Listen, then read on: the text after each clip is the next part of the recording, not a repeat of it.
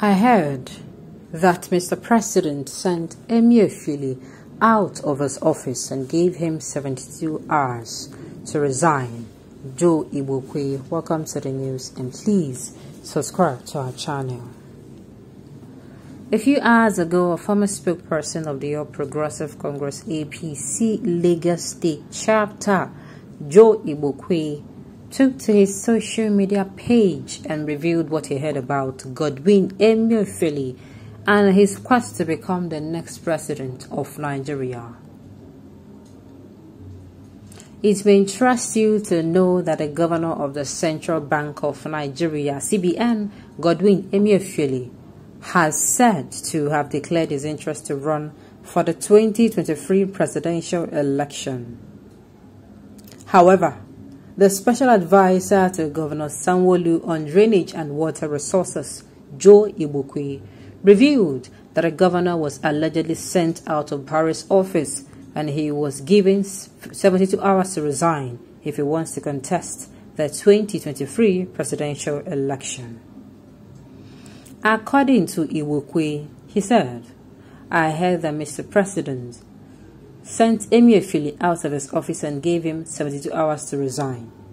In my opinion, the president has the right to send any Nigerian politicians out of his office, most especially the ones who want to contest for the presidency but are not ready to resign from their political appointment.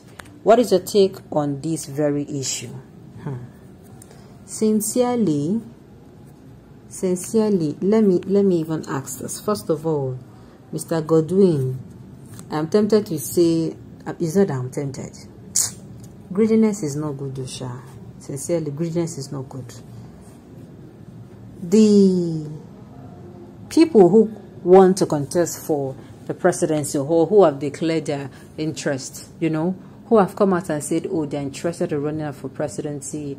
The president has asked them, you choose between the two, and you have until 16th May to resign. Now, I heard in the news yesterday or two days ago, I think 48 hours ago, that Godwin Emefiele actually went to court and the court told INEC to allow him to contest while still be the governor of the Central Bank of Nigeria. And I'm asking myself, is there INEC that told people to resign?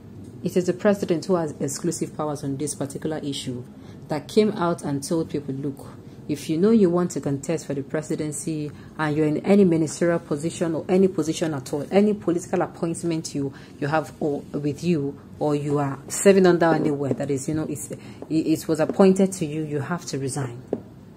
I'm seeing it as Emefiele being too greedy. He even went as far as going to went as far as going to um, you know the court to tell them and they now gave him whatever order to give to INEC and all of that. And I'm asking myself, there is no need for all this. It is the president that actually asks people to sign and not even um, INEC. So coming out to say that this happened is something I don't understand.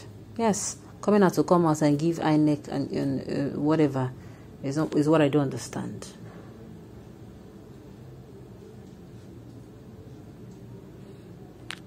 Joe Igbokwe, what have you said about the killing in Sokoto school? You and your boss kept mute because of the presidential ambition.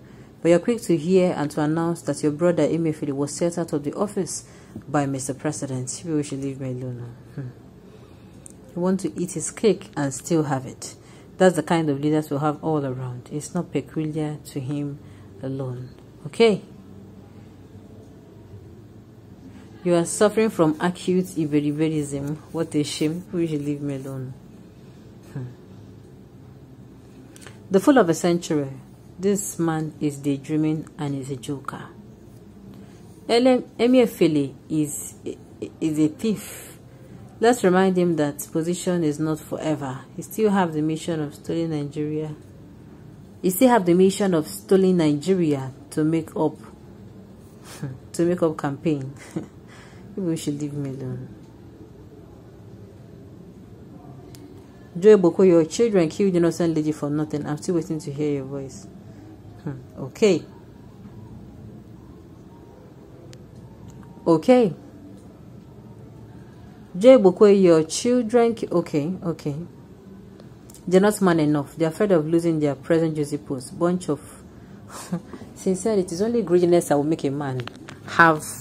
You have food in your house and you still don't want to share the food you have in your house with others, even when you know that it's possible that you're going to get a better one.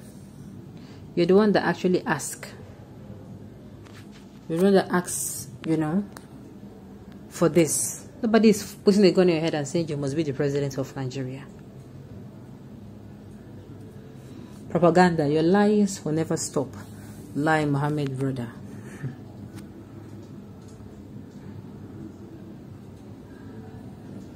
Have you two had someone that was killed in Sokoto State? And why are you not saying anything or you're waiting when it will be in the southeast before you open your mouth?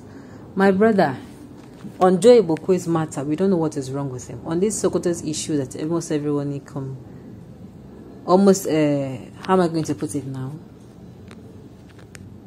On this issue, many people are coming now to attack Joy Bokwe, saying on the issue on ground that he does not come out to you know, speak on issues that are supposed to be spoken on. He always speaks, and this thing is getting a lot of people. Well, that is not even the issue. The issue on ground is that um, Emefiele, he's being greedy, and it is only, I see it as normal. Even in life, you don't get to a certain position without giving up. You are not certainly doing well if you are never doing well. like you cannot be, let's say for instance, let me just use a poor man, and you remain a poor man that you're rich. It's not possible you have to give up a certain, like what you have. It's a give and take situation. Okay?